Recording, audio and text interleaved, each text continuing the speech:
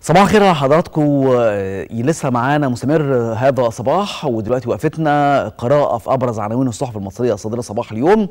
هنكون معاكم بقى قراءة مختلفة ومتميزة إن شاء الله. هنحاول نقرأ معاكم ما بين السطور وإن شاء الله يكون معانا كمان مداخلات هاتفية لتوضيح بعض من الأخبار. هنبدأ معاكم قراءتنا الصحفية بجورنان الأهرام والصفحة الأولى وعنوان أساسي في كل الصحف المصرية الصادرة صباح اليوم تسريع وتير تطعيم طلاب الجامعات ضد كورونا. الرئيس السيسي أحدث الأجهزة الطبية الألمانية لمصلحة المبادرات الصحية. وعلى الفور معانا عبر الهاتف مباشرة الدكتور محمد المنيسي استشاري جهاز الجهاز الهضمي والكبد. صباح الخير يا دكتور محمد.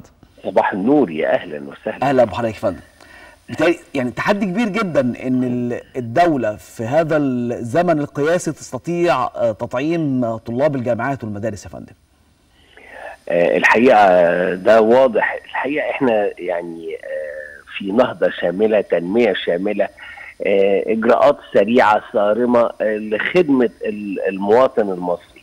آه إحنا آه يعني قمنا بتطعيم أرقام كبيرة جدا آه وقمنا بتغيير فكرة آه أو ال ال ال ال الكلام المغلوط عن التطعيمات. والناس النهارده بقى في نوع من الإقبال على التطعيم وأصبح وجوبي في كل دول العالم حتى لا تستطيع إن أنت تروح أي مكان إلا بالتطعيم الحقيقة.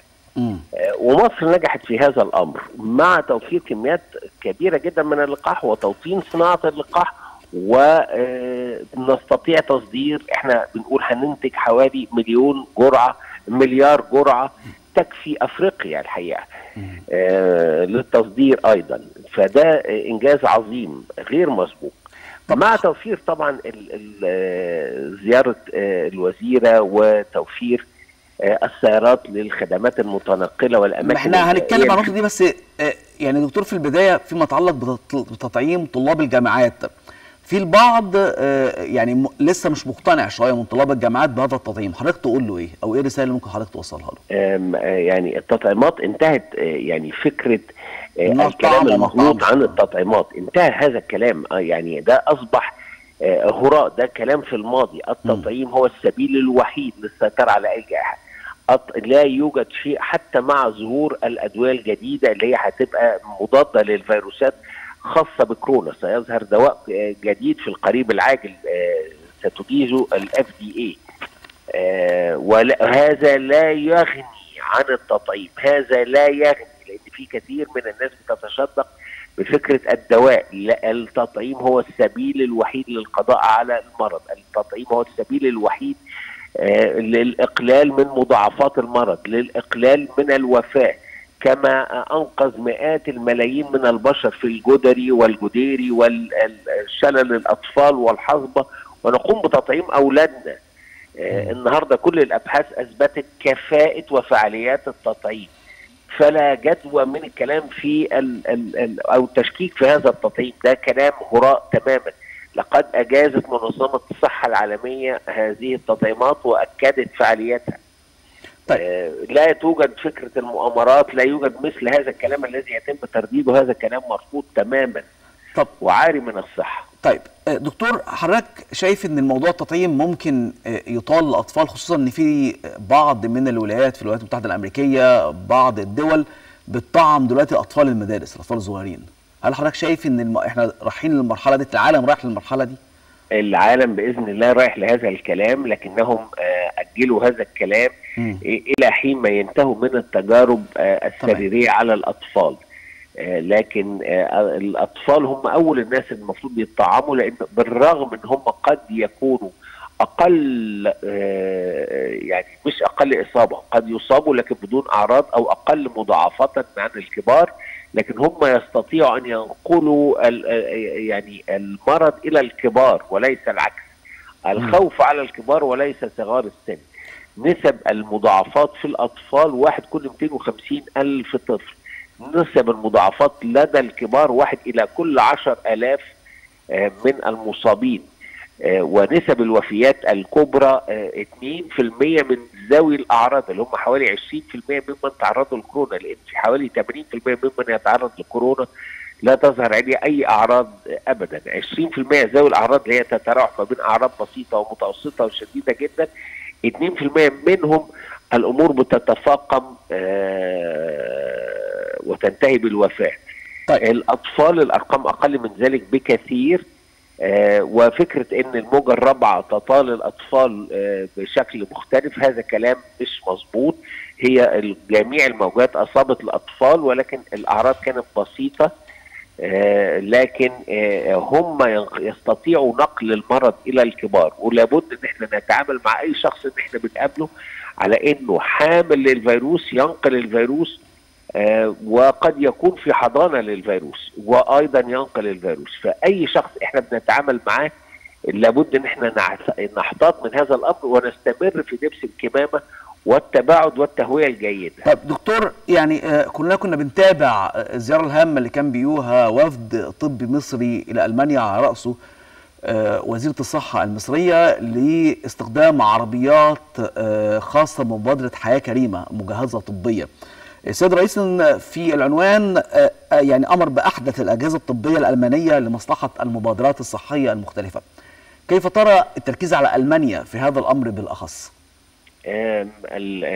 كما نعلم إن ألمانيا من الدول العظمى في أوروبا وفي التطور التكنولوجي وفي التطور العلمي فده يمكن تكون من أفضل الأماكن اللي ممكن نلجأ إليها.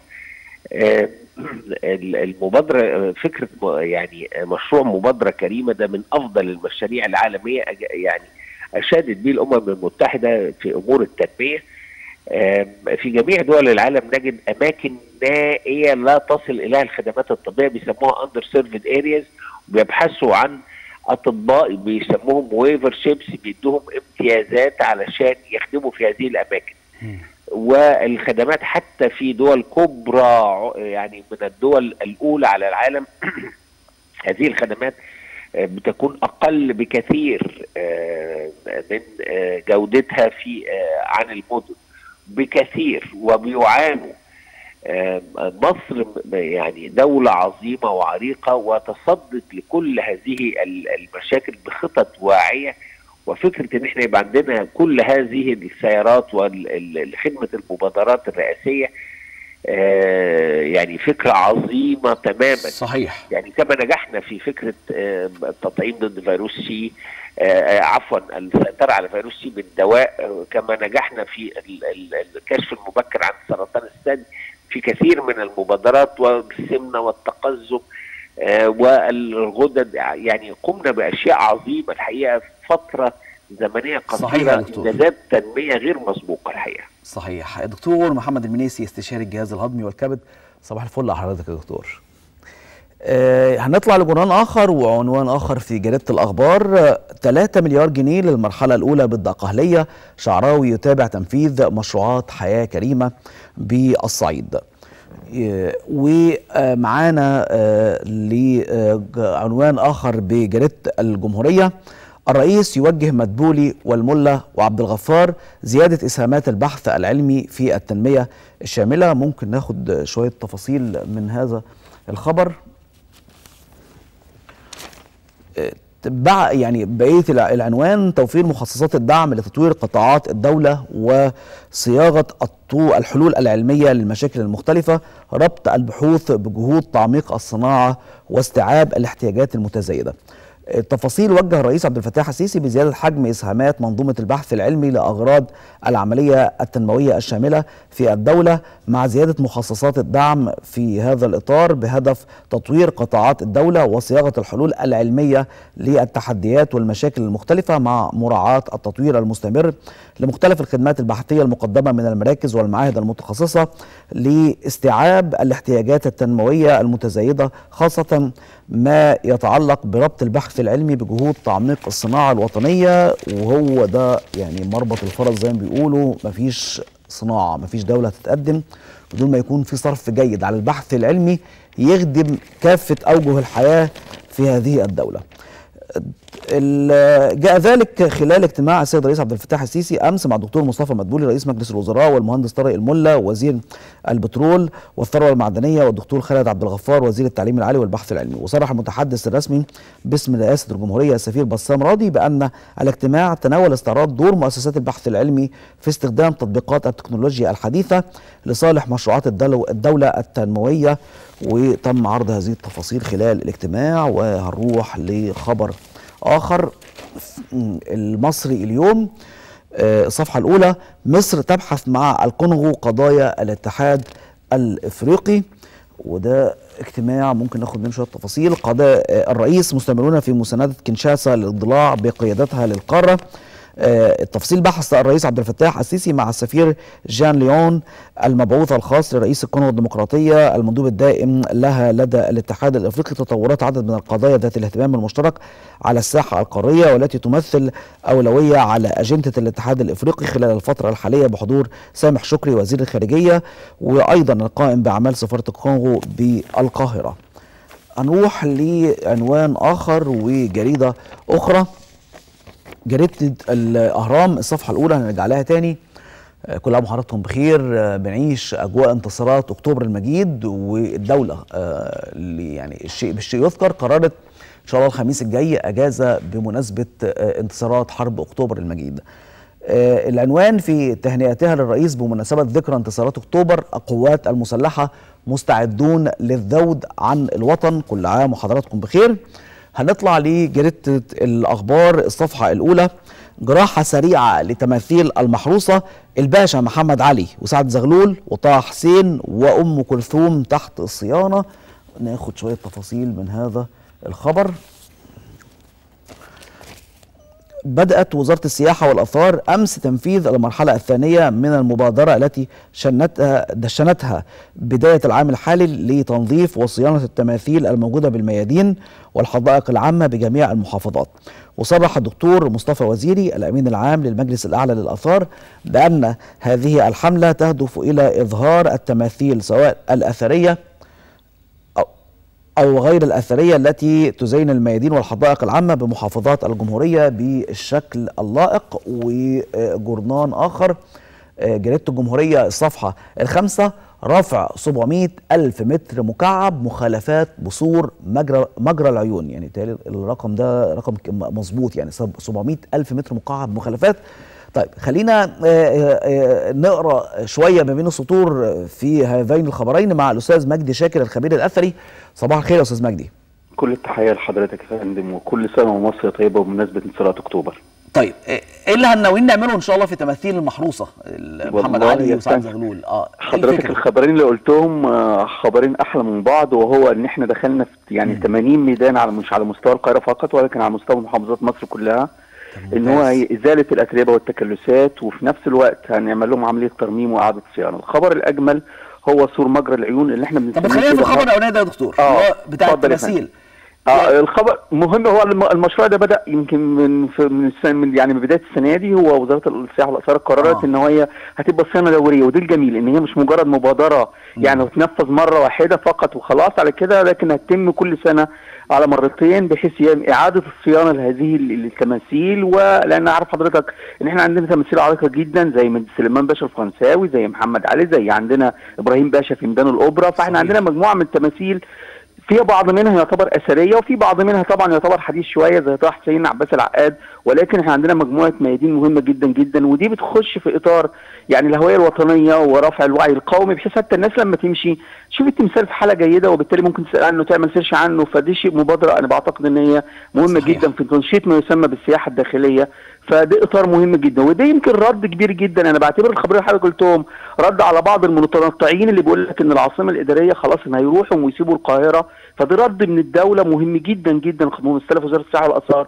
ومحافظة القاهرة وكل الناس بتقول إن القاهرة في القلب وإن هذه المشاريع اللي بتتم إن هي اهتمام ما فيش حاجة اسمها هيسيبوا العاصمة لا ده إحنا حضرتك قلت رقم يمكن حضرتك استغربت 700 ألف طن مخلفات فده إن ده شيء إن إحنا بنشيل متراكمات من سنة ولا اتنين. في كل حتة. يعني بالظبط. آه، المحافظات رد. رد على بعض الناس اللي هي قاعدة زي بيقولوا قاعدة عاملين زي عجيز الفرح بنقول لهم لا والله ده الدولة مهتمة بكل شبر وكل منطقة ومهتمة جدا مش مجال السياسة والاقتصاد فقط ولكن في مجال حتى التماثيل التماثيل اللي هي البسيطة. يمكن حضرتك شفت التمثال اللي ظهر في ممشى كان في مصر. بعض التماثيل كانت أشارت لغط كده شوية يا, أستاذ مجدي. هل هيتم إعادة بنائها مرة تانية أو إعادة صياغتها مرة تانية؟ لو حضرتك تتذكر يعني. حضرتك يمكن في الفترة اللي فاتت للأسف كانت يعني بعض طبعا بعض التماثيل اللي ظهرت كانت غير جيدة فنيا. بالظبط. ولكن يمكن بدأنا في التمثال اللي اتعمل الفنان أحمد مرسي في ممشى أهل مصر اللي بدأ يظهر آه، على ال social media من خلال أيام أعتقد. إن أعتقد إن الدنيا بدأت يعني تبقى جيده شوية ودلوقتي قالوا إن كل محافظة هيبقى فيها يعني لجنة فنية بحيث تراجع العمل الفني قبل انشائه ويبقى في يعني جدل عليه قبل ما يتم انشائه في ال social media يبقى ماكيت صغير والناس تشوفه وتبدأ تدي مثلا ملاحظاتها فده يعني يعتبر نقطة جيدة. ويعني الدنيا ماشية في إطار أفضل. فإحنا بنتكلم على يعني سور مجرى العيون الناس اللي ما تعرفوش حضرتك إحنا بنتكلم على 3.5 كيلو يعني مساحة كبيرة. جدا وبنتكلم على بيسموه كده هرم العنوان الإسلامية وبيتكلم على مشروع مش مشروع مجرد دلوقتي هننظف وخلاص. لا ده هيبقى فيه بازارات وكافيتريات هيبقى فيه فنادق ويبقى فيه ليزر. إحنا محاولين المشروع مشروع السياحي يعتبر مشروع عالمي. لذلك حضرتك مهم جدا جدا الناس اللي موجودة في المنطقة تحس إن هذا المشروع هي هتستفيد منه في المستقبل وإن لازم تشارك في هذا العمل لأن فيما بعد يعني دلوقتي المحافظة بتشيل الكميات دي لكن فيما بعد إيه اللي هيحصل؟ لازم الناس يبقى عندها وعي دي المنطقة اللي كان فيها المدابغ وتم نقلها طبعا الله يبارك في حضرتك انتهت آه. بعد كده للروبيكي وبنتكلم على خم... يعني تراكمات إحنا بنتكلم عن منطقة بقى لها 900 سنة. وبنتكلم عن منطقة مهمة جدا جدا في السياحة. فبالتالي يعني بعد بعد بعد تطويرها لازم يبقى في عقاب لازم يبقى في كاميرات تتركب علشان لو حصل أي تجاوز يبقى لازم في قانون. لازم القانون لأن حضرتك مجرد الوعي فقط مش هيتنفذ. لازم الوعي مع القانون هصدقنا حضرتك الموضوع هيبقى أبسط من كده. ولازم كمان الناس نتكلم معاه ونعرفه ان الموضوع هذا مشروع يا أستاذ مجدي 700 ألف متر مكعب مخالفات من من منطقة أو يعني حضرتك بتتكلم في 3 كيلو ونص بمحيطها بقى. آه، ده بتشال كمية. هذه المخالفات ده شيء كبير جدا يعني. إحنا بنتكلم في منطقة ما أنا عارف حضرتك منطقة السيده عيشة وفي أم الخليج. مناطق كلها كانت شعبية وعشوائية. وعارف حضرتك إن بعد الزلزال اللي حصل في التسعينات في ناس كتير جدا تأثرت وراحت سكن في هذا المكان ومدابغ. إحنا يعني للأسف كانت القاهرة في الكام في ال 50 سنة اللي فاتوا حصل لها تشويه على كل يعني الأماكن. فما يحدث الآن هي مش عمليات تجميل زي بعض الناس بتقول. ده عملية إعادة بناء ف... ومحافظة على الهوية المصرية. فما يتم في أرض الواقع أنا بعتبره نهضة مهمة جدا جدا سواء في المجال الفني إن إحنا بنعيد التماثيل والترميمات بجانب إن إحنا نتمنى إن وزارة الثقافة والله يا أستاذنا بقى بعد كده إن تعمل كل سنة أو كل ميدان تعمل له بعد كده يعني زي آه، نشاط فني. يعني في اليوم مثلا إبراهيم باشا نبدأ نعمل يوم كامل مثلا في ميدان الأوبرا نعرف الناس بتاريخه بعض ال- الحاجات الفنية بعض الرسومات بعض تاريخه. نعمل باركود علشان مثلا أنا ماشي في الميدان يبقى عندي باركود أقدر الشباب أنت عارف الشباب مش عنده وقت يقرأ أو يقعد. فعن خلال الباركود يقدر يعرف معلومات بسرعة وأفلام فيديو و نفسي بعد كده بعد إعادة التماثيل يبدأ كلنا نبدأ نتحرك وزارة الثقافة مع وزارة الإعلام مع كل هذه مش مجرد خبر بنعلق عليه ولكن يبقى الموضوع طوال السنة عشان نرجع جزء كبير جدا من الهوية الوطنية. للأسف الشباب أنت عارف حضرتك الجيل الجديد مش مهتم قوي بالثقافة والحضارة ولكن بعد نقل المومياوات الملكية الناس بدأت تسأل وبدأت تعرف بدأت تم فاحنا لازم نساعدهم. فما يتم في أرض الواقع محتاج وزارة التربية والتعليم وزارة الإعلام والهيئه الوطنية للإعلام وزارة الثقافة وزارة الاثار كله يشتغل في هذا المجال عشان في النهاية آه، اللي بيحصل على أرض الواقع يبقى له مردود فيما بعد. والله فكرة رائعة وإحنا من ضمن صوتنا لصوتك يا أستاذ مجدي. صباح الخير على حضرتك أستاذ مجدي شاكر الخبير الاثري أشكرك جزيلا. مصر. شكرا يا فندم. طيب معنا عنوان تاني من جريدة المصري اليوم الصفحة الثالثة والبعد الأفريقي أيضا لمصر. نعود ليه من جديد. مصر تحفر ابارا جديدة لمياه الشرب في جنوب السودان وممكن ناخد منه شوية تفاصيل. آه، عبد العاطي تنفيذ سبع محطات في المناطق الريفية لرفع مستوى معيشة المواطن. ده بقية الخبر وتفاصيل تانية. أعلنت وزارة الري أنه يجرى حاليا تنفيذ عدد من مشروعات آه، لحفر الآبار الجوفية في جنوب السودان لتلبية احتياجات البلاد من مياه الشرب. بينما تشهد أو شهد منو بيتر وزير الموارد المائية والري بجنوب السودان بدء أعمال حفر بئر محطة قرى كابو وكابوري والزكاف غرب وعدد من القرى. والدكتور آه، محمد عبد العاطي آه، قال وزير الري إلى أشار إلى التعاون الثنائي مع دول حوض النيل والدول الإفريقية. وده بيعد أحد المحاور الرئيسية في السياسة الخارجية المصرية وتم خلال هذا التعاون تنفيذ العديد من المشروعات التنموية التي تعود بالنفع المباشر على مواطني تلك الدول. وأضاف عبد العاطي أن التعاون الثنائي يسهم في تحقيق التنمية وأيضا آه، رفع مستوى معيشة المواطنين بما يسمح بمواجهة التحديات التي تتعرض لها القارة الإفريقية مثل الزيادة السكانية، انتشار الفقر، الاميه والأمراض، وأشار إلى أنه تم تدشين المرحلة الثانية من مشروع إنشاء محطات مياه شرب جوفية بجنوب السودان مزودة بالطاقة الشمسية ضمن أنشطة مشروعات التعاون بين البلدين، وتم البدء في حفر الآبار الجوفية لمحطات مياه الشرب الجوفية في قرى كابو زي ما قلت لكم في عدد من القرى السودانية، إحنا كده نكون آه، يعني حاولنا نلم مع حضراتكم العناوين الأبرز في الصحف المصرية الصادرة صباح اليوم وحاولنا نقرا معاكم ما بين السطور آه، بعد قليل وعلى رأس الساعة موجز لأهم الأنباء مع نجلاء الجعفري وبعده إن شاء الله هيكون أول وقفة حوارية وشهاب شعلان. هذا الصباح مستمر معكم خليكم معنا.